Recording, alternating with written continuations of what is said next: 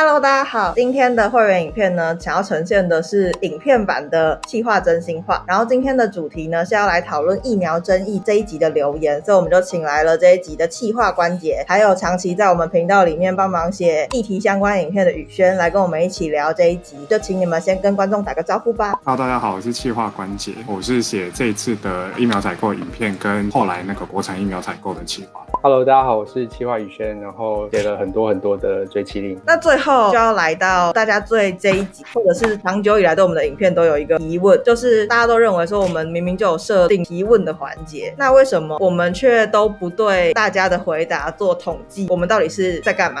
大家就觉得你们问问问题只是随便问的吗？只是骗我们来留言？不过呢，为了要回应观众们很希望我们统计的期待，所以我就有在这一集很不专业的、很简单的，就是做了一下搜集。这一集的留言数其实总共有六千多笔，然后我真的不可能每一笔都记，所以我就只看最热门的前一千笔也已经够多了。然后在这一千笔里面呢，大概有一百个是有很明确的说出我选 A，或者是他有排序 A B C D，就是他有把选项写出来的，所以我把这一百个抓出来。然后在这一百个里面，其实最多人选的其实是 D 选项，那就是其他。然后他们大部分的人说的原因就是小孩子才做选择，我上面三个都要这一种的。然后再来还有一些是说，哦，我上面三个都不想要，我想要的是国产疫苗。然后还有一些人是说，他想要跟已经有疫苗的国家买，或者是请其他已经有疫苗的国家捐给我们。这些是最多人选 D 的原因。然后占最大宗的是前三个选项我都要的。那针对这样子的留言趋势，你们是有预期到的吗？我自己算有预期到了。大部分的人在疫情的紧张、焦虑的状况下，最想做的事情就是越快让我安全越好。所以我觉得可以想象，大家是以速度最快或者是最快到货为最优先的考量。我这边也觉得其实是蛮可以理解的，但我的想法反而是有点像我们在影片里面已经达成了这个效